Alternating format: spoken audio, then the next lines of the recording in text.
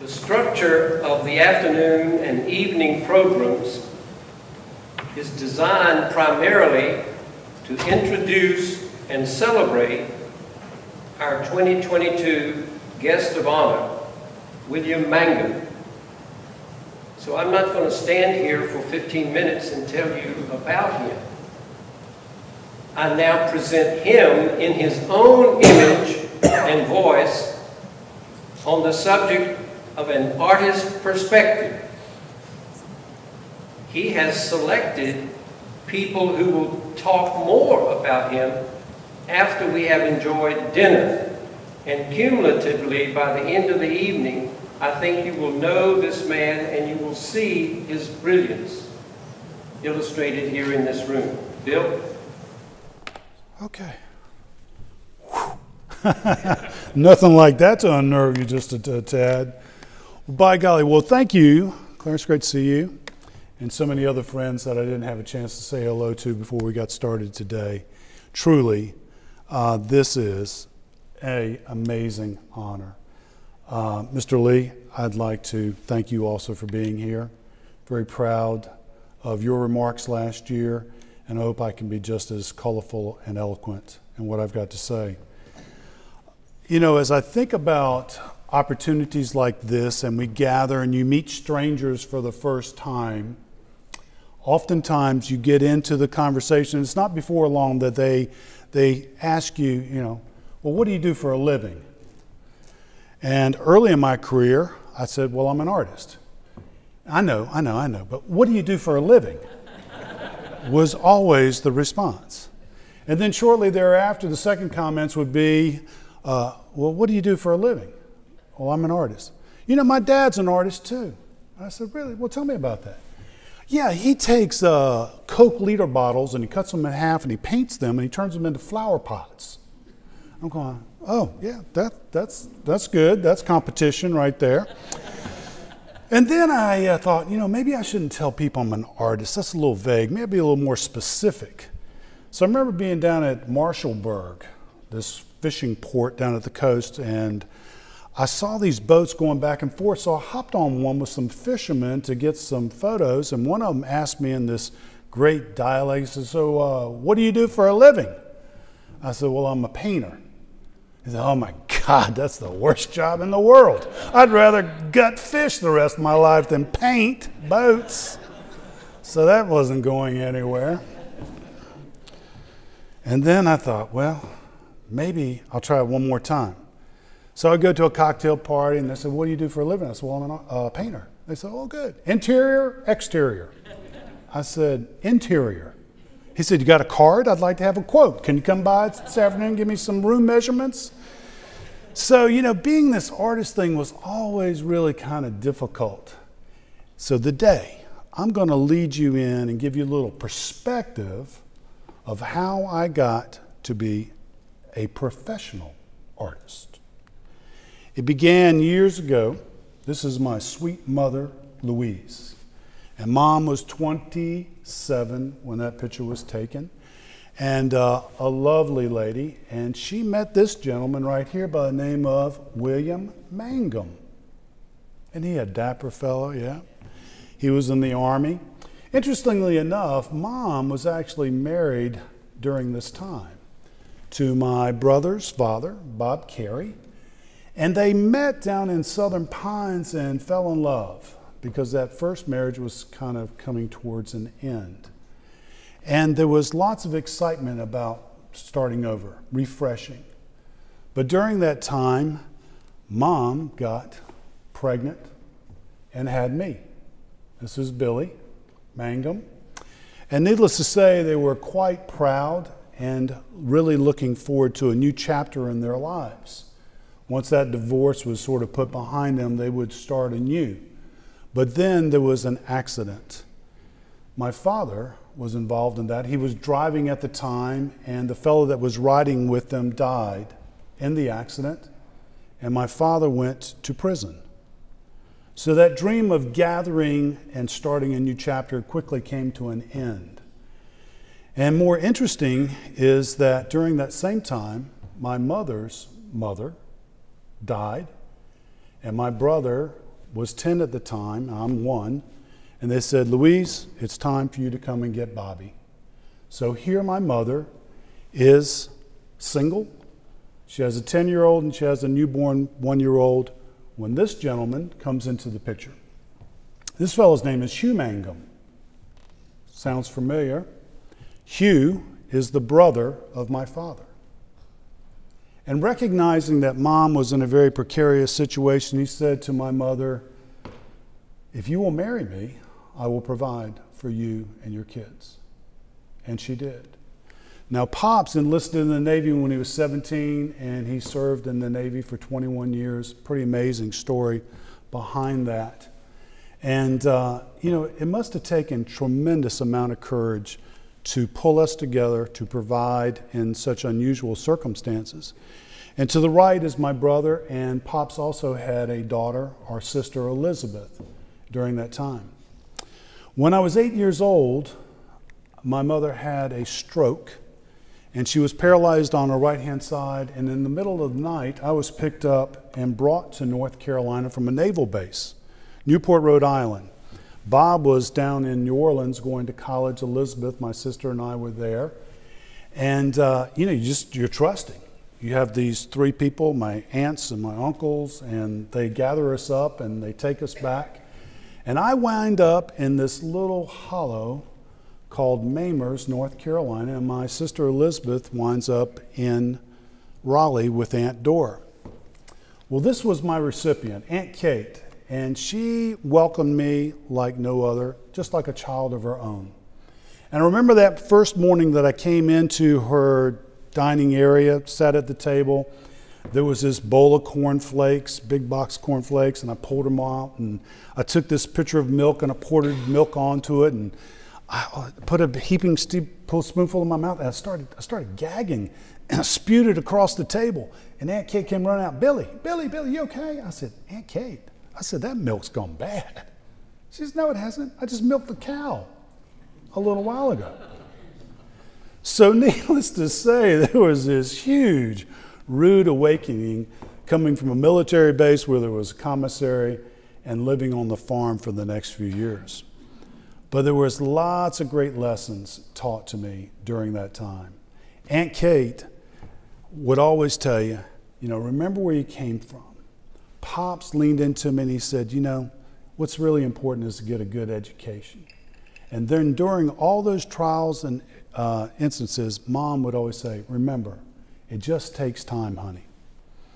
Well, I wound up at Boone Trail High School. It was K through 12, very small country school. And I'll never forget landing there, lots of insecurities, as you can imagine. And uh, one of my teachers took a drawing that I did, a crayon drawing, and entered it in the North Carolina State Fair. Well, it won this blue ribbon. I mean, it was about the size of a pie pan. And I was so proud. I just wore around, strutting around, and I was really excited. And all during those early years, art was the means of escape for me. You know, in reality, it allowed me to fantasize, to get away, to really maybe not live in the presence. Because as a young boy, eight, nine, ten, thrown into that circumstance, you just were you weren't quite sure what was happening. So art was that means that I could really kind of survive and entertain myself. When I got from Boone Trail, I wound up finishing high school in Fayetteville. And I got to be honest with you, I, I was a terrible student. I wasn't inspired academically. I just really didn't care. But art, thank the Lord I had art because I could do bulletin boards for extra credit. And I could get through Spanish and I get through algebra and all those things. But I did graduate. I wasn't at the highest end of my class, but I did eventually get through. And I, I went to uh, Sand Hills Community College. And it was there that I poured myself into art. And all of a sudden, I went from the bottom to the top. Believe it or not, I made Dean's List of all things going to a community college. And then once I finished there, though, I was thinking I could go on, maybe get a degree in art, maybe do something else with it. So there were two schools for it. One was East Carolina, home of the Pirates. Great football, basketball. The other was UNCG, had a great art department.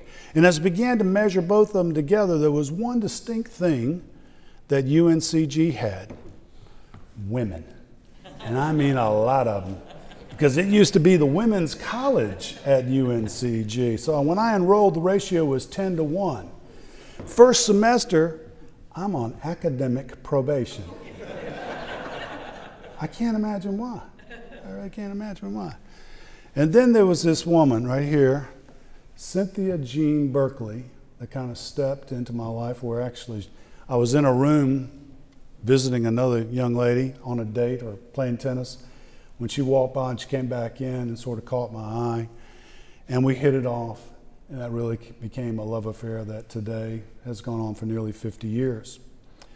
While I was at UNCG learning to do art, I'll never forget my professor, Bert Carpenter, who was the head of the art department. Very much on a center stage like this, there were 250 students out in the audience, and as he was walking back and forth, he had his pipe. You could smoke back on campus back then. And he stopped.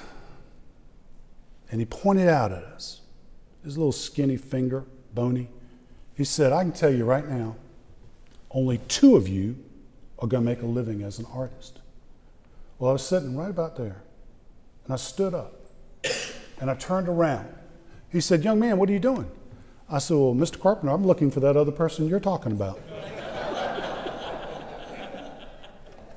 And truth be known, that is really what happened. There was really only about two of us that made a livelihood from it. As I went through uh, UNCG, got to my senior year, I decided to do a painting for my mom for Christmas. And like any student, I didn't have any money, so I went to a local dime store, bought a 59 cent tray of watercolors. I came back to the dorm. I had sort of played with watercolors in the past. My brother would have me down on summer visits, and I did a poor painting. Did you ever burn that painting, Bob? Did you lose it? Some uh, of his home.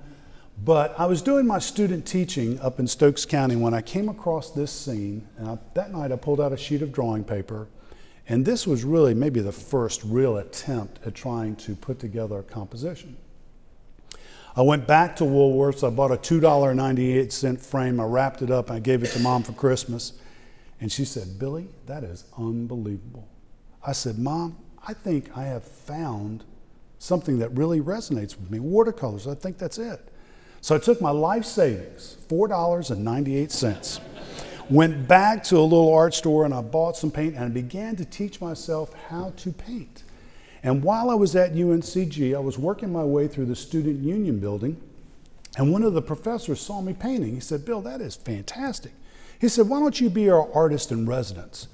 I said, What's that? He said, Well, you, you paint live. You know, you come and we'll pay you $75 and you could put a show on in here in the Student Union building. Well, my brother, Bob Carey, underwrote that opportunity. I borrowed $300 from him. I framed up 10 paintings and I sold every one of them. And I knew this is what I would do for the rest of my life. So that first painting went from that, and then two years later, I was doing scenes like this. This is West Jefferson, which turned into my first limited edition print. When I came out of school with my Master of Fine Arts, I really had some great success. There was something called newspapers back then. And they, they were anxious to write articles about up and coming talent. And I like this one in, in particular. As I leaned into it, I'll read it with you. It says Lexington has its Timberlake. If you've not heard of him, that's Bob Timberlake. High Point, it's Steve Sebastian. North Wilkesboro, it's Nichols. And Greensboro, it's Mangum. You see that word right there? Hopefully. Hopefully. They must have been talking to Bert Carpenter because you know, they didn't find me. But I was determined. I absolutely leaned into it. And I did. Everything that I was painting was really kind of resonating. Even this article right here says North Carolina's Bill Mangum attributes his success as a painter to hard headedness. You have to be stubborn. You had to have a lot of tenacity back then. And uh, it was really good. So what I was doing was really kind of painting was in my own backyard at the time. Scenes that were quite familiar. This was Harvest's Inn. And then I would go down to Ocracoke Island and capture those lovely scenes. But what really began to separate me from my competition was competing. was entering my paintings in shows, not locally, but nationally and internationally.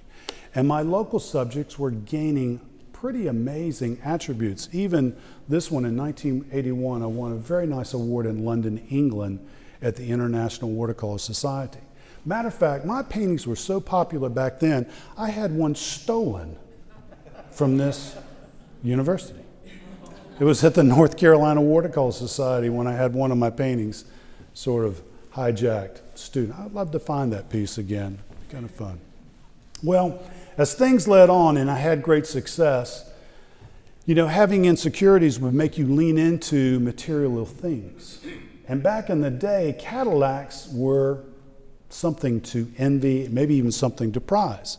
Haven't you promised yourself a Cadillac long enough? Yes, I have. Yes, I have. So I went out and I bought one. And then shortly thereafter, this ad came out. It says, You've earned it. And I thought, You're darn right, darn tootin'. So I went out and I bought that one too. So I had a I had a sedan DeVille and I had a yellow Eldorado, and I just thought, man, oh man, life doesn't get much better than this. Until 1980, when the recession hit. And the Carter administration came in, and interest rates went way up, and I was totally exposed, and I was so naive, I did not know how to handle my success. And I had to file for a straight bankruptcy. I crashed and burned, and it really, really broke me. But it was the best thing that put life in perspective for me. Because I got to be honest with you, I took for granted really where I come from. It all began with a 59 cent tray of watercolors, and I felt like anybody, anybody could do what I was doing if you applied yourself. Well, maybe you had to spend $4.98. I don't know. But it was during that time that people had been telling me that I had a special gift. And I thought, well, maybe. He said, no, you know, God has given you a very unique talent. And then it really dawned on me that he, he did. So I asked for some forgiveness. I asked if he would give me a second chance. And the Lord blessed me. And he took me into his fold. And really during that time, it was the family. It gave me the goal of something to work towards, to dig out. Cynthia was steadfast. Kids didn't know any better. But, you know, without a family, you really didn't have something to work towards. So I had to go through this reinvention. How would I uh, compete once again? Does everybody know their primary colors? Because this is a little bit of art education. One of them's red. You want to give me the second one? Blue. Blue? Okay, very good. Well, let's start with yellow second. then we'll go to blue. But did you know with those three colors, you literally can mix any color in the rainbow? So I wanted to come up with a simple acronym, something that I could lean into. So I came up with the art of doing business, ART. And A would stand for alliance. The best way for me to separate myself or to have some jumping off point was to align myself with successful companies, with good brands, come alongside and help them celebrate what they do. And then R stood for resourcefulness. It was that ability to not just paint, but to leverage that talent in a multitude of ways whether it was through books or puzzles or mugs, publishing, speaking engagements. It was being resourceful and not staying in just one lane. You know, like a musician, a musician can perform live and have great concerts, but really where they sustain themselves is when they publish their work and they get it out into a broad audience. And then, three, the third would be timing. It was looking for those windows of opportunities, special occasions, centennials, or whatever it may be. Well, after the bankruptcy, I asked my brother, I said, Bob, you know, it's one thing to show your work in galleries, but if you really want to make any money, I need to have my own gallery. Would you help me with that? If you look there, you can see it's called Carey Mangum Gallery. And Bob was willing to stand up and right alongside me. Shortly thereafter, I hired my first gallery director. Her name was Wheezy Gordon, and she was a Spitfire. She was amazing. And for 10 years, she came alongside me, and we were able to show really all across the eastern U.S. to participate in lots of outdoor shows as well as indoor expos. She handled a lot of the publishing, and Bob continued to be very supportive. One of the great ideas he came up with was during that time, what was that guy's name? Bob Tim Timberlake? Timberlake, yeah, Bob Timberlake. Bob owned North Carolina. I mean, I could not break in. And every time I would go to say, well, oh, your work, oh, it reminds me of Bob Timberlake. And I go, who? Bob Timberlake. So I thought, let me escape. So I got on my pony. Where'd go? Got on my pony. No. But God, Bob came up with this idea. He said, why don't you think about maybe getting some patrons? Why don't you get some sponsors to underwrite these trips? You get $1,000 from them, and in return, you give them $1,500 worth of credit towards a painting. Well, guess what? It worked. I mean, before long, we were taking trips to England, and to really stretch myself and to take on different subjects was amazing. To go to the Greek Isles, to capture these beautifully whitewashed buildings, pushed my skill set in watercolors to extraordinary heights. And at the same time, I could take these international scenes, compete with other North Carolinians. They had no idea where I was coming from or what I was doing. We began to get some international publishers and all of a sudden, a lot of these things were winding up literally all around the world in restaurants and hotels as they were being reproduced by the hundreds, if not thousands. Well, one of the best things that ever happened to me with this success, Weezy was coming in for a landing, and I needed some inside help managing money. So, this young lady, Joy Ross, is a CPA. And she was working for my CPA, and they said, you know, maybe you could use somebody like her to come in part time, help you out with the books. Well, 28 years later, Joy Ross is still with me, still oversees the operation, and she has helped really create and grow my name, my brand, beyond my wildest expectation. She handled the early staff that was instrumental in creating books doubling the size of the gallery, and really allowing me to go out into the field and to do what I do best, and that's to paint. And North Carolina, without a doubt, is an artist's paradise. When you think about the beauty of the mountains, to the Piedmont, to the coast, and then you mix it with four distinctive seasons, it's second to none. Now, when it comes to seasons, I'm to pick on Cynthia a little bit because I remember doing this painting and you know, you're always asking opinions. So I said, Cynthia, what do you think of this? She goes, Bill. I said, what? She said, what? Look at that. Can't you tell me what's wrong with that? I said, no, I can't tell you what's wrong. She said, you can't put all those flowers together. I said, what do you mean? They don't grow at the same time. I said, Well, you're the only person that will know that.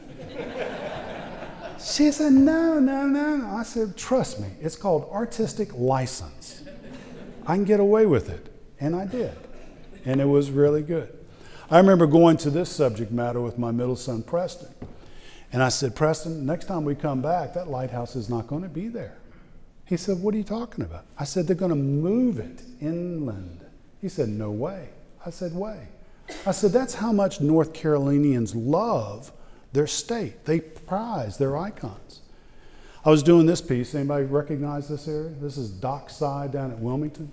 Worked on this painting for about a week and a half, and I was sitting up on a ladder, and boats would kind of come and go, and one was backing up to me about eye level.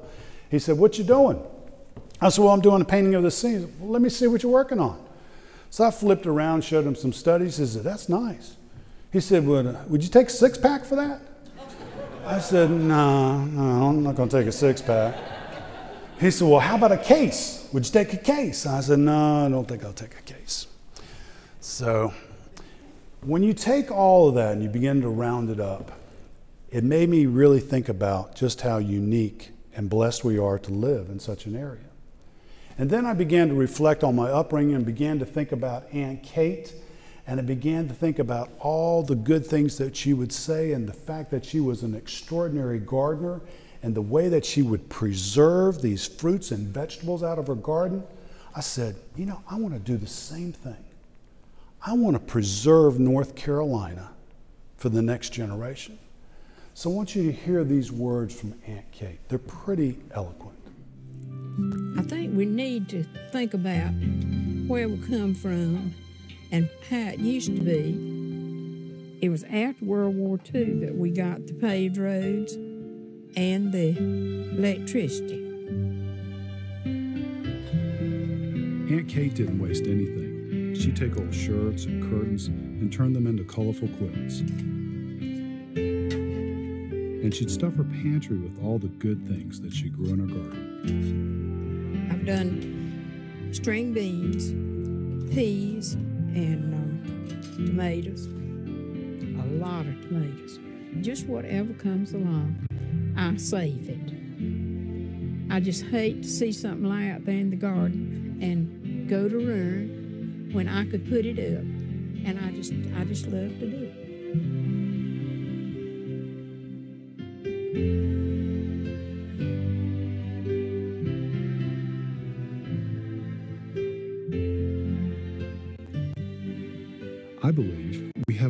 To preserve our heritage for future generations.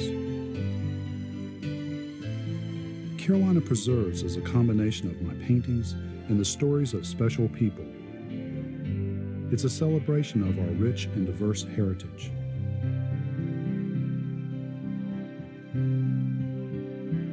That's about as sweet and eloquent as you can be. Don't want anything to go to ruin. Want to put it up and preserve it, and that's really kind of what I did. So I took this painting of Aunt Kate's pantry and I said, you know, I think there's a book around this idea of preserving different North Carolinian and artist perspectives of the state. So the title came to me one night. I said it should be called Carolina Preserves. So as I did this concept, Bill Friday, former chancellor here, was so gracious to me. I went to him and I said, Mr. Friday, I said, I've got this idea for a book and it's to include different North Carolinians from all walks of life. And he said, Bill, you know, I like it. He said, but I don't cook.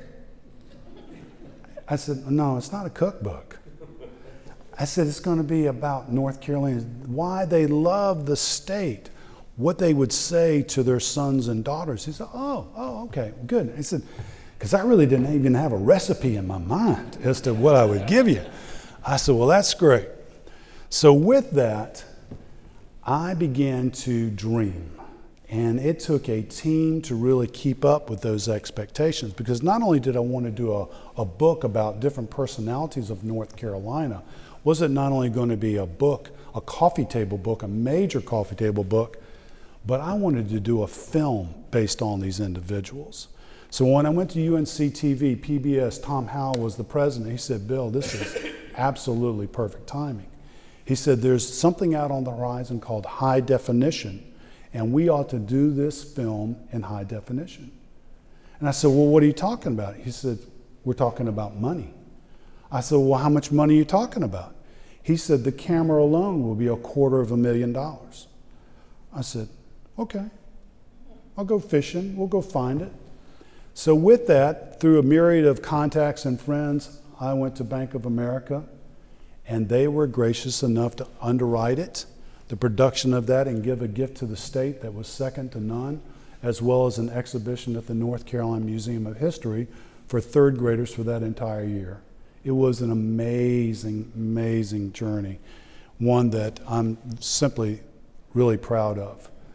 Well, it took a unique team of talent, and Cindy Adams is here this evening. And she was the major contributor that would corral all these personalities people from Dean Smith to Richard Petty, former governors. Uh, you name it, was kind of a who's who of the state. And then Gene Davison was also instrumental, but the bedrock of it was Joy. And those three kept it on spot and made it something that's really, even today, probably one of the best books I personally think in the state. So, Hugh Morton, many of you are familiar with him. He certainly was a, a, member here. But Mr. Morton, I would visit him. When he contributed to this, he said, Many people have given me the impression that Grandfather Mountain is their favorite beloved mountain. And if this is true, it is no trivial task preserving it. He absolutely loved that mountain. And I remember him taking me out and showing me scenes, and my worst imagination was saying, artist Bill Mangum watched Hugh Morton fall to his death as he stands on these precarious premises. But he was so gracious in his gift. Many of you know Michael Jordan. I love this quote. This was capturing his backyard down in Wilmington. He said, I've told people that before you even set foot in North Carolina, you should take your shoes off because this is truly God's country.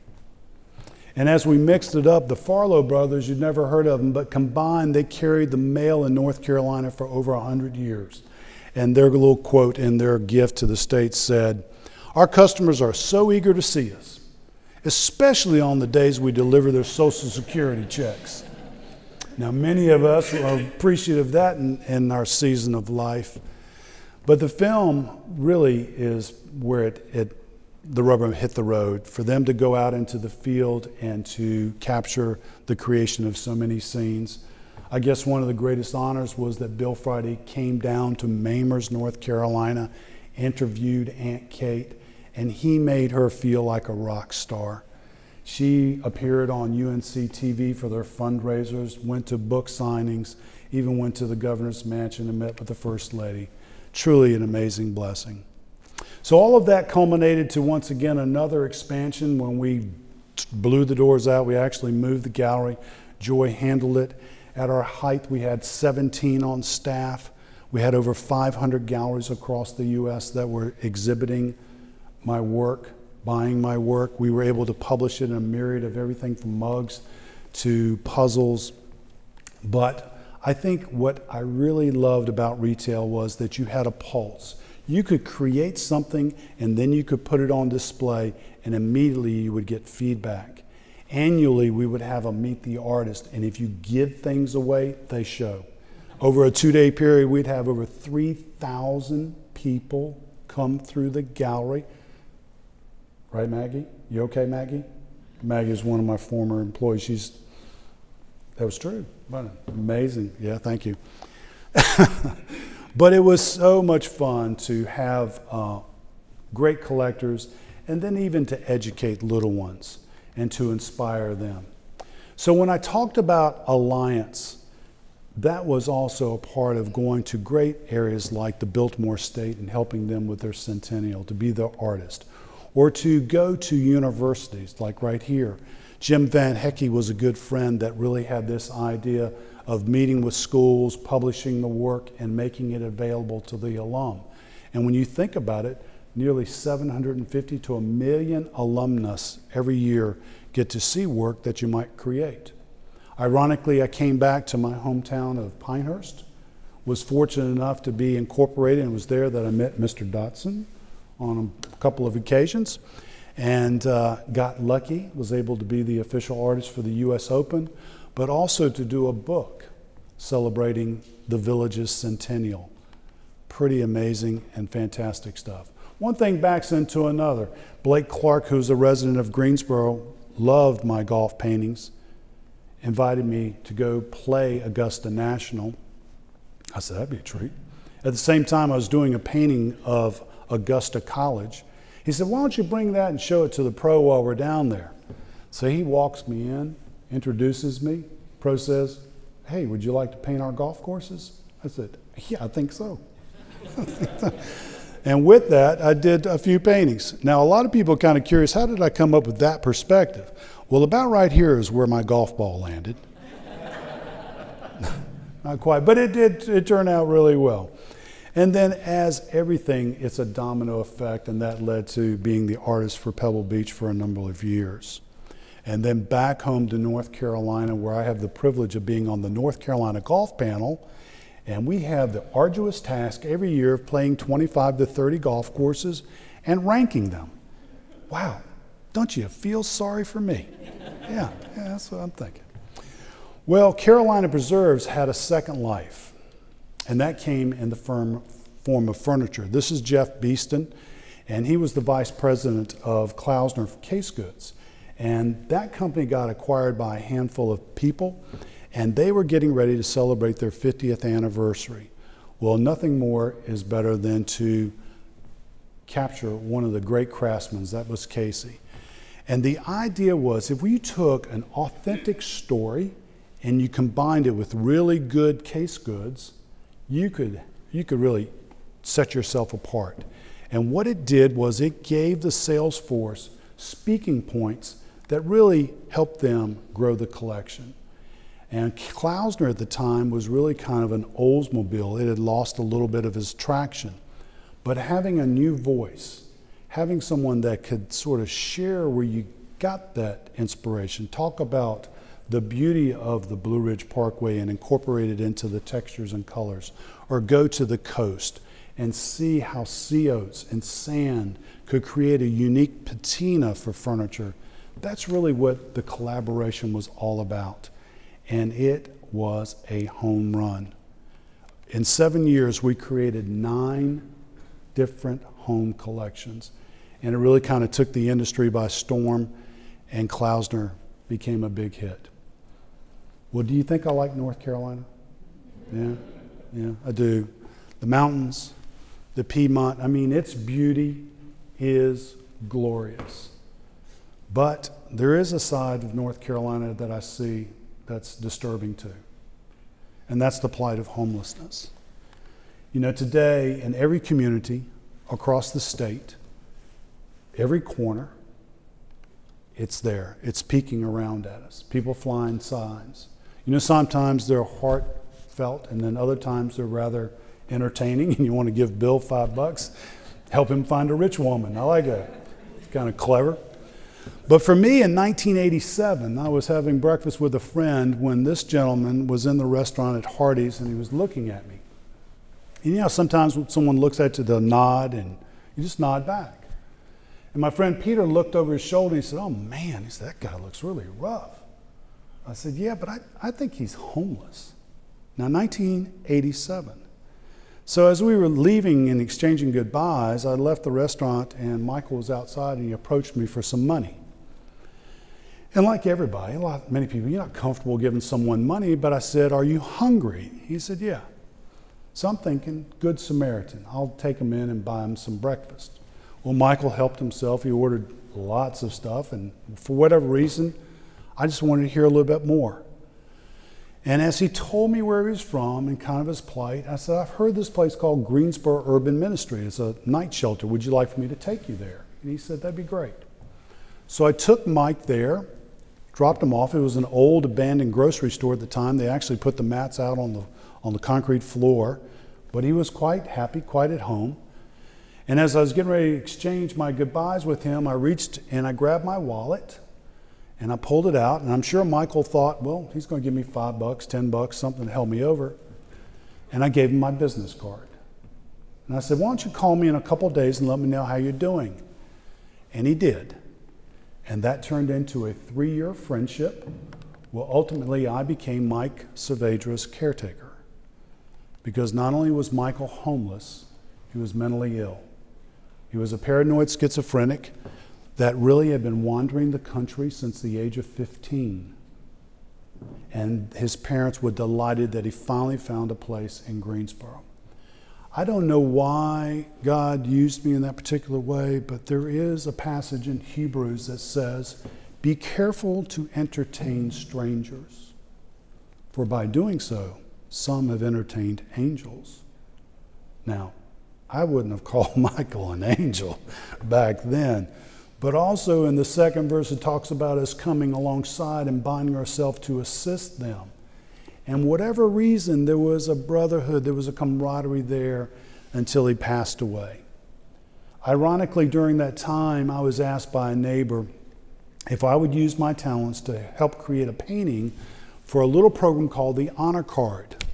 And in 1988, I did this painting of old Greensboro. And we put it on the card, and we took the print sales to underwrite it. And the way the card worked was if you purchased it or if you made a donation of $5, you would send it to a friend or a family member, and it says a gift would, is being given in your honor to support the needy and homeless in our community. And would you believe that year that card raised $50,000 for Greensboro Urban Ministry in 1988? Well, I really kind of thought I was one and done. You know, I was moving on back painting internationally when they came back and asked me to do it again. And it stirred in my soul that I could do it. How, how could I not turn it down? So I began to volunteer down at Urban Ministry on Wednesday mornings, did a prayer breakfast, and it was during those volunteer times that I would meet individuals and they would share with me their plight, but they would also talk about how they would come alongside and help individuals like Randy and Howard create a car wash business. Even during this time, there were veterans. Veterans made a huge impact on the population of homelessness. At one time, they were 25% of what was sitting in shelters. And in Asheville, they have this great veterans uh, area where they have 246 beds to help serve those in need. And then there are true life stories like Bonnie Harris, who actually came through the shelter. She was a crack addict. She got off of it, and she also decided to start her own ministry. So amazing stories. So the honor card, what's so exciting about it is that 100% of every contribution goes directly back to the agencies that support it. And over 35 years, the mission has been the same, and that's to show God's compassion for our neighbors in need and to build a stronger community together. So we're on this big sort of anniversary, 35 years it's going to encompass with a book, but all of it would not come about if I didn't have some great partners.